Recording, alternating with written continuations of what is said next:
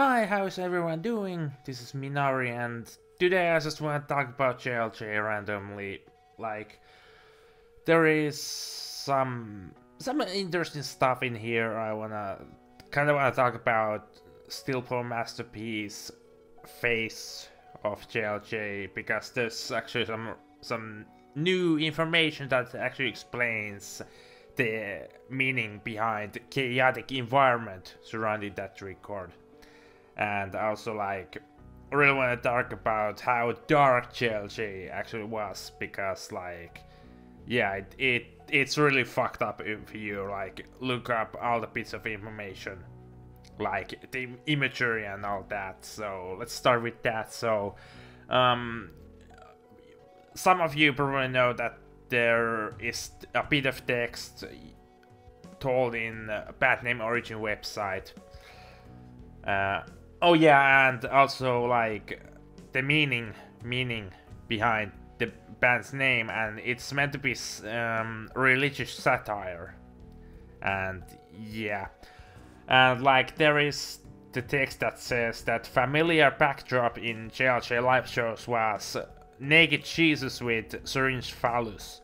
And like, I'm not really good with English, like, I can speak it and, and all that, but there are some words that I don't know, and I sometimes have to look up what they mean. And phallus, for those that don't know, it's like object that resembles penis or erect penis, and like Jesus with like mm, erect penis that looks like a syringe in JLJ live shows. Like, that's really dark and it's really offensive stuff. Really.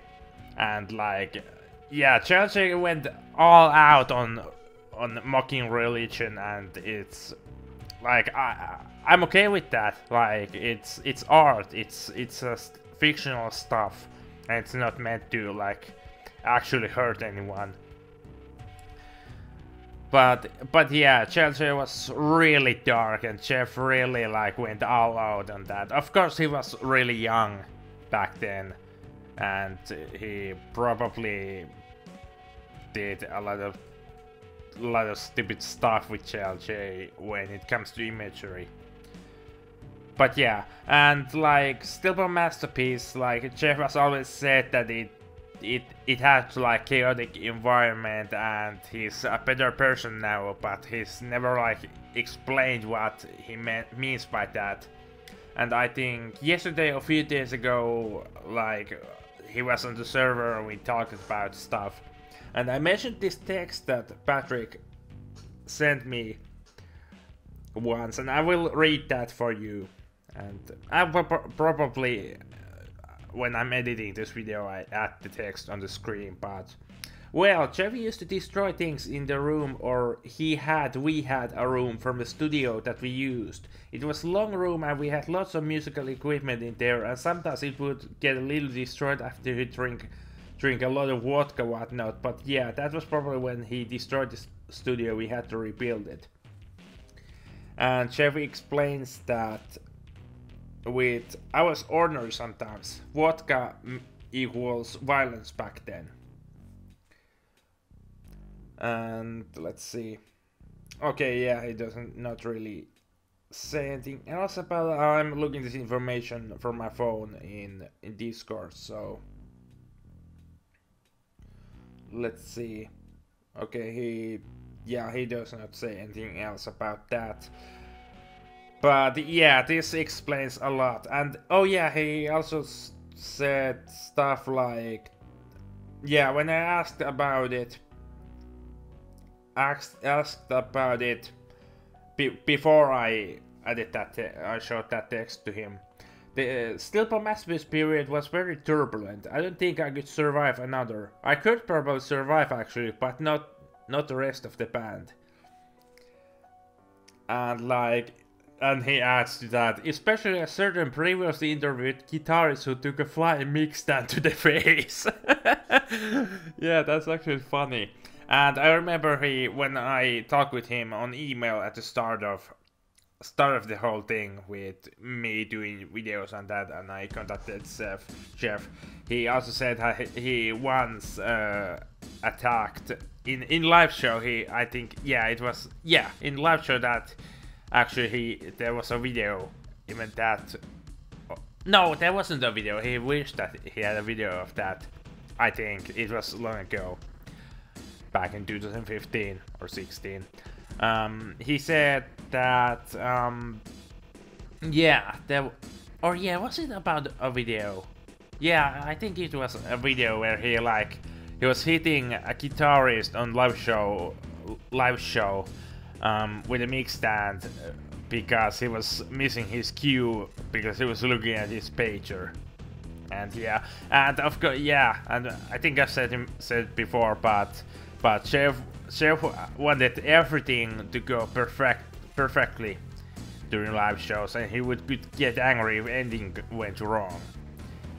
And yeah, Patrick said that too in that interview that uh, Inhaler and Joe did back then. But yeah, this kinda this will explain what he means with with chaotic period during Stillborn master masterpiece.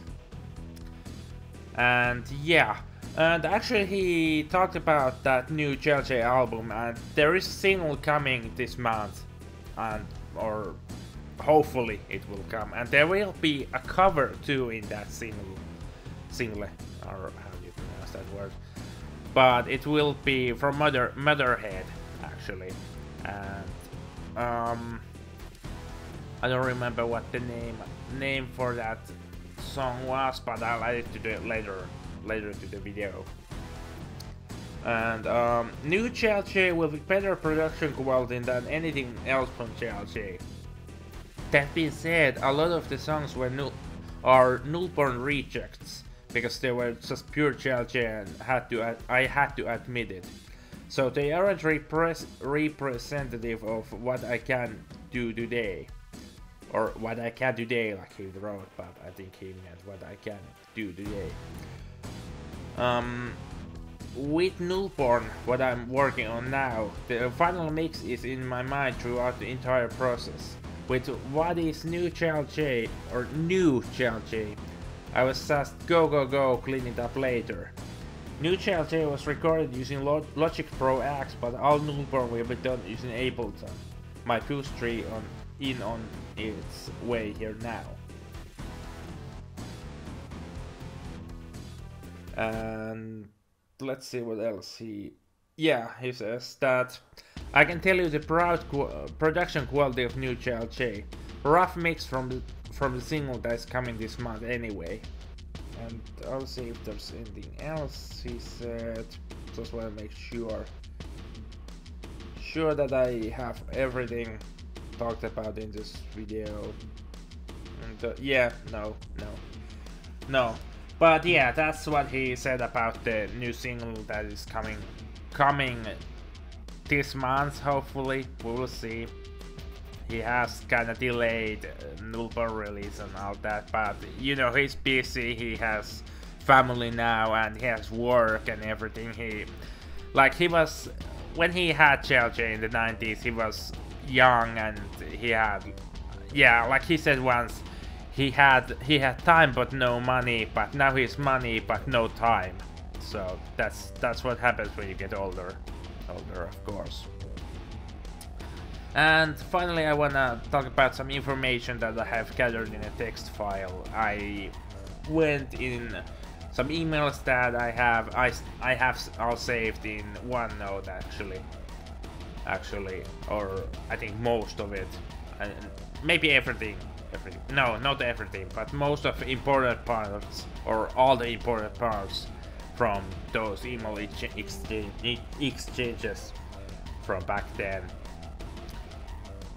And um, original name Jesus Loves Junkies for a couple of years, so yeah, it was it was written like that originally and it's it, there's still like you can see in I think on salt there is like U is a V on I think in in Jesus, the word Jesus, there is V instead of U.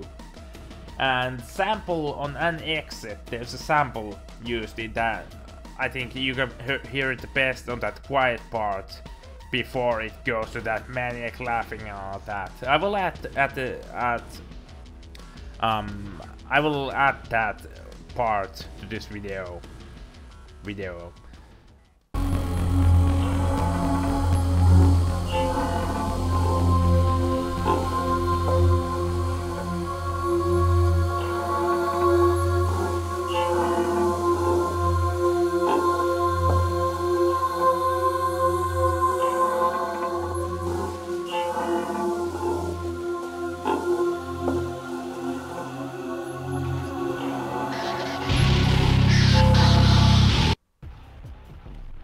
yeah, you can hear it. It's like kind of robotic and all that. Like, of course, like we didn't really know what is the meaning or what is the concept in in Great Escape from Paradise. Really, but we will probably know when we do that interview. We do it. No, no plans when it will happen or anything, of course, uh, because um, like like time zones and all that. Like when I have talked with him, it's usually been early morning or really like like in in here in Finland, it's been like 5 a.m., 9 a.m. kind of thing. And the first live show for JLJ, uh, it was was just Q80EX sequencer running drum machine and KVK4, or I think like samples or or whatever, I don't know. Uh, me on guitar and vocal and Patrick on guitar keys. It was a pretty small crowd, most of which we knew. And Patrick actually mentioned how many people later JLJ had on live shows, and it was apparently like 200, 300 people. And Jeff always said that they were like the audiences, audiences were small, but for well a band like JLJ that is like real low on money and a real small band like that amount of people is is actually big I think. But of course when you compare to band like Slipknot where there's like thousands of people yeah of course it's small. But for JLJ 200 300 is is quite big actually. I was always thinking like when he made small it was like less than 100 and for Salt, the equipment used was KVK4, Kawai Q80EX sequencer, Yamaha MT4X cassette multi-tracker, I think that was how it was recorded or what it, that was the equipment used for recording the music. And for guitar it was Gibson 1989 Les Paul Standard.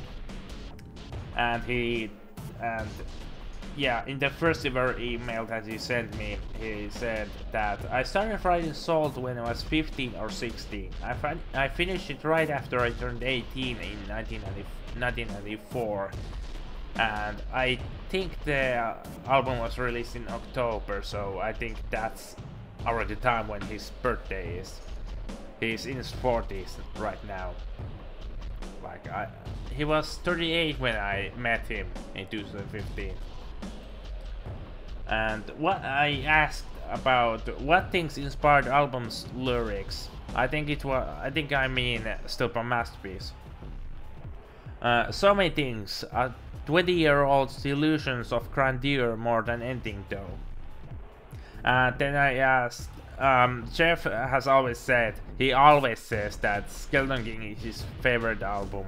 Or no, he always says that Steel Masterpiece is his favorite album, but Skeleton King is his number one favorite JLJ song. And and also Second Skin. And I asked why Skeleton Skin is your favorite song of the album. And he answered, I just love the build up to the single chorus and then the winding down after. Looking back, so much of JLJ was Terry, Terry, derivative of that zeitgeist I don't know, did I pronounce that correctly, that word? I actually checked how to pronounce it, but I forgot. But Skeleton King always feels special to me. And yeah, this is all that I have to say for this video there's a lot of stuff that I'm talking about and I, I really hope that you enjoy these kind of videos where I'm like just talking about JLJ because like for some reason Chelsea is a big thing for me as a fan because I'm like I'm leading the I don't like to like to say that I'm leading the fan base, but I'm kind of the guy who got everything, everything for the people like Jeff and and and like giving information and music and all that. Like I don't, I don't. I actually said in in Discord that I'm feeling like I don't want to feel like dictator, and someone said that I don't. I'm not a dictator, and and and without me, we wouldn't have what we have now. But yeah, like I don't want to like have full responsibility or anything, but I'm kind of like putting everything together for the fan base and and for JLJ. JLJ's like letting people know about JLJ and so on. But of course, like. everyone who who does stuff like this, everyone is equal in my opinion. Like I'm just glad that people enjoy JLJ and, and of course whatever else Jeff is working on Nullborn and and also that project called Water, Water Wormwood and Faded Satans. That is actually pretty cool cool music. If you haven't checked that out, go check it out. It's it's on my channel. At least one of the songs. There's also two others, but I chose that song because it it's kind of the I think it's the best best song out of them all. It's also really interesting one too. And I hope that you will enjoy what Jeff is bringing for us, eh, like that Motorhead cover and and also the new new single and finally finally the album that's coming out, the Pragmatic Panic and apparently that's that Motorhead cover will be the heaviest of of the new JLJ. Like actually, like that's what Jeff said. But I don't mind. I actually enjoy those like quiet songs or calm songs, stuff like stuff from the from the first album Salt, like like slow sinking and slow sinking and um, also also chance to die like it's really like it's really moody and, and sad and all that. And also like stuff like dilate and and second skin and all that like it's it's really great. Like all of old JLJ is really awesome in their own ways and each album has something so something worth listening and yeah, I also also forgot to mention that someone made in the website called Rate Your Music, where JLJ's albums are presented. Someone made a review review for for The Great Escape from Paradise, saying that uh, it's an album that does not hesitate to use violence. And yeah, I think it's true, but still, a masterpiece is really that that should have that honor since it's really dark, it's really heavy, it's really angry, aggressive and all that. Like, it's the darkest JLJ album. And when you when I think about the saddest or least positive one, I think Salt maybe. It ha it has that feel on some songs and so on. But yeah, I think this is it for the for this video. I'll just stop recording this this audio and start working on the video. Uh, I have some stuff I have to add to this. I have to add that an exit sample so you hear it and also some other stuff. But yeah, uh, one last thing before I stop. Um, I'm thanking everyone who's enjoying JLJ and other stuff that Jeff does and and please let your friends know about JLJ so more people would know about this band. Because me and many others agree that it's, it's really great music and and like like Jeff has joked that oh, I think it's it's pretty serious that like compared to Manson compare like JLJ versus Marilyn Manson like Marilyn Manson is just pop music compared to JLJ, especially like some some albums like The Great Escape from Paradise and Stupid Masterpiece, and I agree on that. But yeah, I just I just enjoy that you enjoy these videos and what I'm bringing out to you, information, music, and all that.